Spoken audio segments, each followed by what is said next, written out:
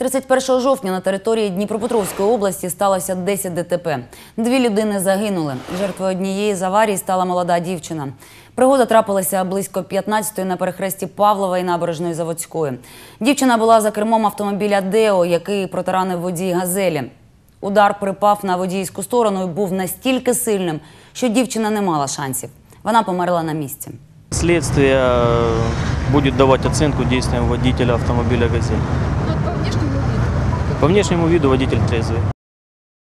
Прохання до людей, які випадково стали свідками цієї ДТП, допомогти у розслідуванні та повідомити деталі аварії. Телефонуйте на номер, що бачите на екрані. Будь-яка інформація цінна.